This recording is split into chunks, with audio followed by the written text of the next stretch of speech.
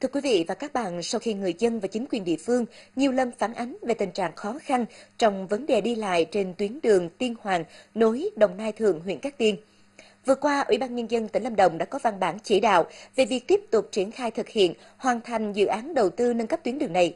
Dự kiến sẽ hoàn thành việc nhựa hóa đoạn còn lại trước Tết Nguyên đán năm 2017. Ghi nhận của nhóm phóng viên thời sự.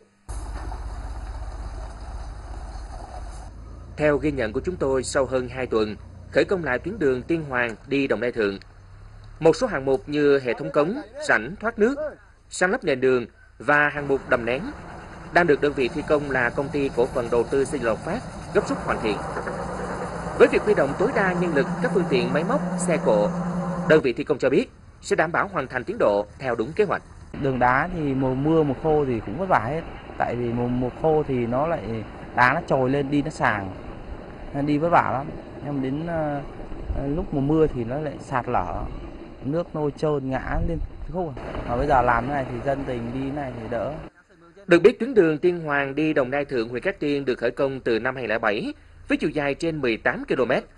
Bằng nguồn vốn đầu tư trên 130 tỷ đồng, được huy động từ trái phiếu chính phủ. Mặc dù được triển khai gần 10 năm nay, song đến nay chỉ mới hoàn thành được gần 10 km. Còn lại trên 8 km đoạn cuối tuyến vào trung tâm xã Đồng Nai Thượng vẫn chưa được thảm nhựa.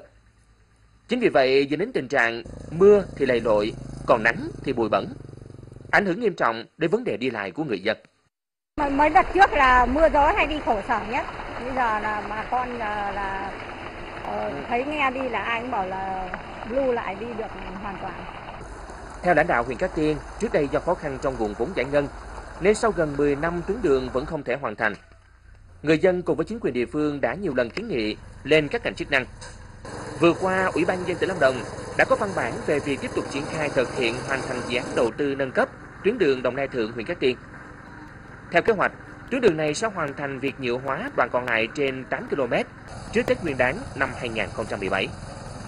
À, ờ, thực ra cái tuyến đường à, Tiên Hoàng Đồng Nai Thượng à, đã được à, thi công trước đây. Ờ, tuy nhiên do nguồn vốn trái phiếu chính phủ à, bị gián đoạn, à, do vậy trong năm 2015 và 2016 à, không được bố trí vốn để tiếp tục thi công với cái khối lượng là còn hơn 8 km còn lại. Cái tuyến đường này nối liền từ cái xã Tiên Hoàng đến cái xã Đồng Nai Thượng. Có thể nói đây là mẫu xã cuối cùng của tỉnh Lâm Đồng hướng về phía phía nam. Ờ, với hơn 8 km đường còn lại chưa được làm, thì việc đi lại ờ, của nhân dân là hết sức khó khăn, đặc biệt là trong cái mùa mưa lũ. Thì trước tình hình đó, vào ngày 25 tháng 10 2016 thì ủy ban dân tỉnh cũng đã ờ, có chủ trương tiếp tục triển khai thực hiện cái tuyến đường này và dự kiến cái hoàn thành cái tuyến đường này vào trước Tết Nguyên đán 2017 có thể nói đây là một tín hiệu ờ, rất đáng mừng mà được bà con nhân dân ờ, trên địa bàn huyện nói chung cũng như ờ, trên địa bàn xã Đồng Nai Thượng hết sức phấn khởi là tuyến đường huyết mạch từ xã Đồng Nai Thượng nối Tiên Hoàng, Gia Biển xuống trung tâm huyện Cát Tiên. Sau khi dán hoàn thành, sẽ có phần quan trọng trong sự phát triển kinh tế, văn hóa xã hội của địa phương. Đặc biệt đối với xã Đồng Nai Thượng là một trong những xã nghèo, với trên 90% hộ dân là đồng bào dân tộc thiểu số. Vậy là sau 10 năm ròng rã, cuối cùng con đường khổ ải một thời đối với người dân Cát Tiên sắp hoàn thành. Năm mới 2017 này, có lẽ người dân Cát Tiên sẽ vui hơn khi được đi lại trên con đường 10 năm này. Cuối năm 2013, Sơn khăn gói về nhà với ý tưởng xây dựng một cơ sở